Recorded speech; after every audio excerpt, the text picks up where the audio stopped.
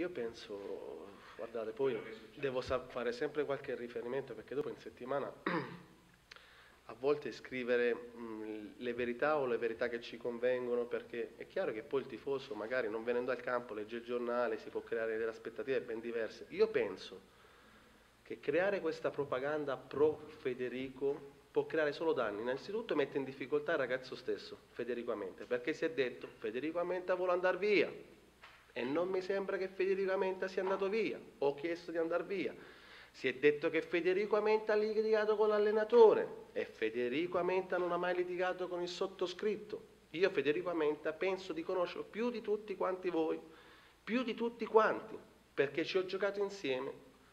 Federico purtroppo quest'anno ha avuto un percorso diverso. Se, quindi se si vuole capire questo, bene.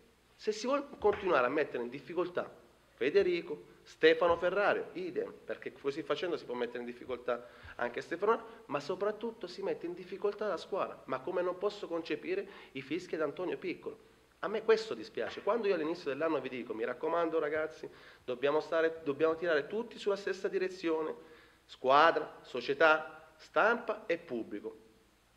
Io purtroppo le cose ve le dico in anticipo.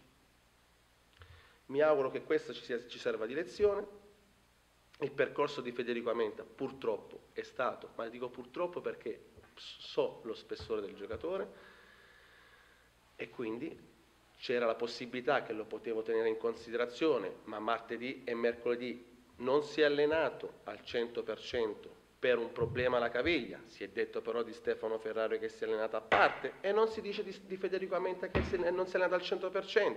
E a me questo dà fastidio.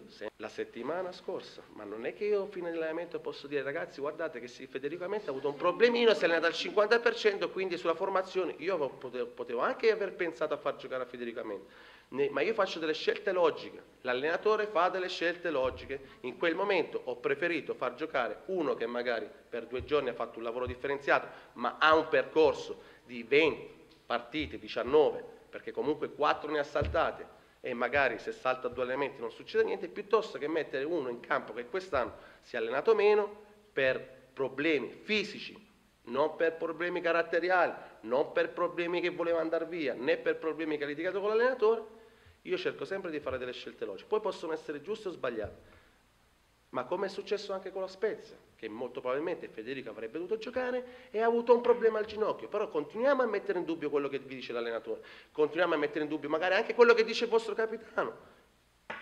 Aspettiamo che magari venga a parlare Federico, che restio con i giornalisti, ma lo, sa, lo conoscete meglio di me, che fa, Federico non gli piace parlare tanto, come non parlava l'anno scorso quando stava facendo un campionato straordinario, ma ripeto, così facendo si mette in difficoltà sia Federico, sia Stefano e sia la squadra chi vuole il bene del Lanciano. Poi, ragazzi miei, io non, posso, non posso generalizzare non posso generalizzare perché ringrazio comunque i ragazzi della curva perché comunque sostengono la squadra per tutti i 90 minuti, c'è da fare delle valutazioni. A me, sinceramente, i Mugugni, i cori contro e, e, e, i fischi sabato mi sono sembrati eccessivi, ripeto. Poi magari mi sbaglio però. Allora vi faccio vedere il percorso di Federico Amenta, mi auguro almeno dei dati oggettivi vi possiate fidare. Fino a Natale Federico Amenta, eh, lo dico non per, per buttare fango su Federico, assolutamente, perché il Federico Amenta quando ha giocato con il Fosinone ed è stato soggetto di critiche, sono stato l'unico, penso, a difenderlo, l'unico come difenderò Stefano Ferrario, come difendo ogni individuo del mio gruppo, vale per tutti. Su 150 157 sedute di allenamento ne ha saltate 49. Sapete che significa 49? Un terzo, ma non un terzo di un infortunio lungo. Quindi è, è chiara la situazione di Federico Amenta. Dopo che siamo rientrati da Natale, perché si è fatta la polemica anche con il Bologna, Federico Amenta col Bologna non c'era. Federico Amenta con lo Spezia, se non avesse avuto il problema del ginocchio, molto probabilmente avrebbe giocato. Si vuole addossare la responsabilità dell'allenatore? Benissimo. Dopodiché andiamo in ritiro accorato, si allena con continuità, perfetto, fino ad arrivare alla settimana scorsa. dove vi ho già detto quello che è successo, molto probabilmente avevo tenuto in considerazione di dare un turno a, a Stefano e di far giocare Federico, ma ripeto, martedì e mercoledì ha avuto un problema alla caviglia. E quindi l'allenatore ha fatto una scelta logica, giusta o sbagliata, questo io non la metto in discussione, ha preferito far giocare uno che ha avuto un percorso diverso di continuità rispetto a uno che purtroppo, ripeto, purtroppo, anche per sfortuna mia, non ha fatto il percorso dell'anno scorso.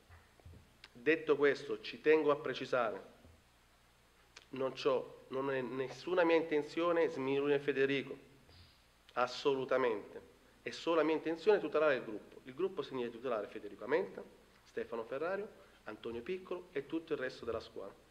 Mi preme solo questo, perché ho in mente un obiettivo da raggiungere il prima possibile.